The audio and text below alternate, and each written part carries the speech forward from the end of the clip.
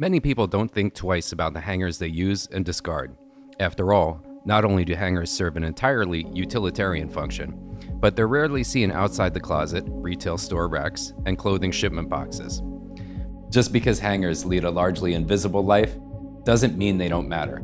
Quite the opposite, in fact.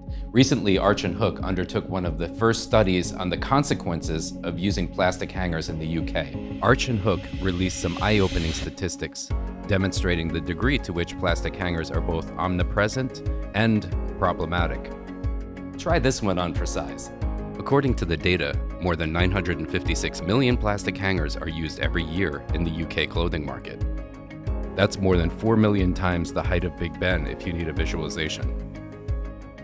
And while the majority of fashion companies say that sustainability is important to them, just 15% of them report recyclability to be their top consideration when selecting hangers.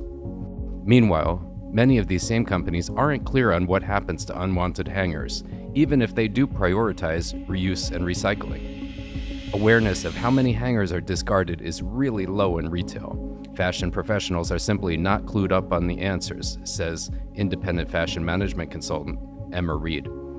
Drilling down to the luxury clothing sector further highlights the problem.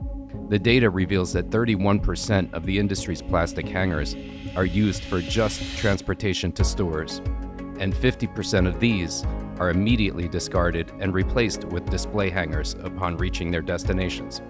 All in all, just 30% of hangers are reused. Furthermore, because plastic hangers are made from a complicated material mix, and many have recycling equipment jamming metal hooks.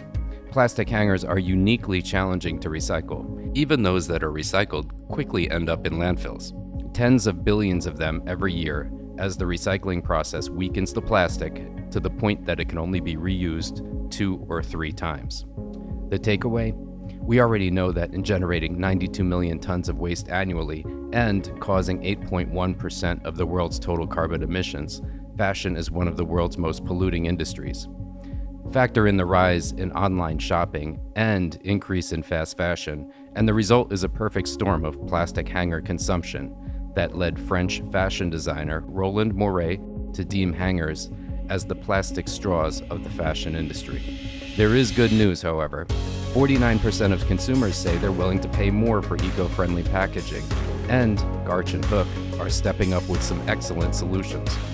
Currently, Arch and Hook makes several types of wood and plastic hangers from a variety of sustainable sources.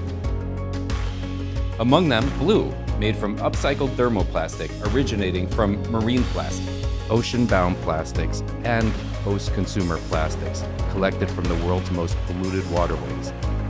Blue represents a new frontier for the fashion industry and sustainability. Arch and Hook saw an opportunity and went for it. These 100% recyclable, fully closed loop hangers debuted at London Fashion Week, supported by Roland Mouret and British Fashion Council, and we're thrilled to be using them at our new studio.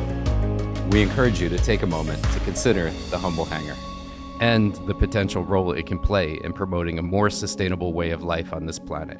Because the truth is that Arch and Hook's hangers aren't just designed to fit the future, they're also designed to ensure that we have a future.